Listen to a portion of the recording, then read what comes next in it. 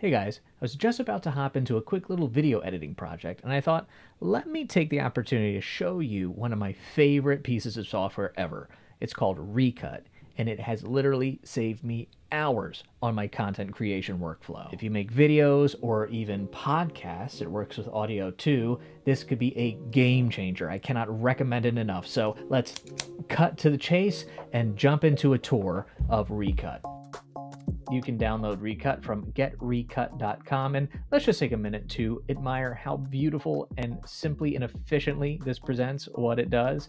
Video and podcast editing can be way less tedious. Recut removes the pauses, so this turns into this. And I'll tell you what, they make good on their value proposition. Let's open up Recut, and I'm going to drag in a file and oh, the cleverness of me, I'm going to use the intro to the very video that you are watching. And you will see right away there are some pink parts here. These are the pauses that Recut has identified and will remove automatically. Now, you have a few settings here.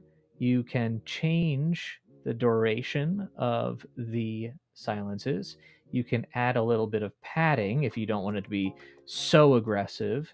You can also remove blips. So even if there is sound, if it's just a quick little blip, like less than a second, you can drag this up to a second, but let's set this back to, what was it, 0.2.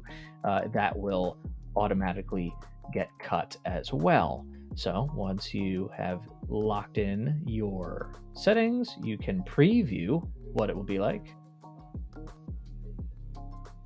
All right, now let's export it.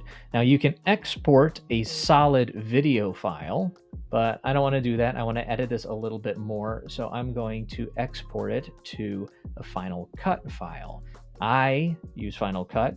It also works with ScreenFlow, Adobe Premiere, DaVinci Resolve, and you can use XML files or EDL files to work with a few other video editing programs as well. I saw a tutorial on how to get the XML file to feed an iMovie project. So you can use some free software to work with this as well. But let's export for Final Cut and let's see what it looks like on the other side. The export itself is super fast, doesn't have to render out anything. It just generates this FCP XML file and we will open that up.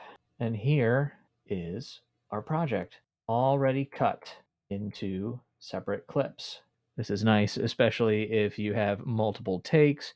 You can quickly jump through them and delete the rubbish, and you're left with a very clean timeline. So let's do it right now. All right, so I'm going to remove that first take and to delete that as well. Oh, all right. And there we go.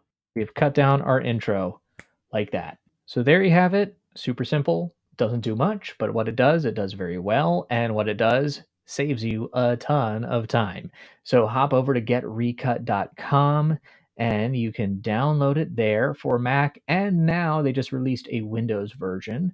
You can download it for free and test drive it for five exports. And then after that, you can buy a license one time purchase of $99, but I actually have a link in the description to save you a little bit of money. So take a look at that. I cannot overstate just how much time this tool has saved me. And it's not just the time it saves you having to slog through cutting out the silences and all that stuff. It speeds up the rest of the process because I feel like I have a lot more momentum and excitement going into my edits now that I kick it off with what feels like a magic trick.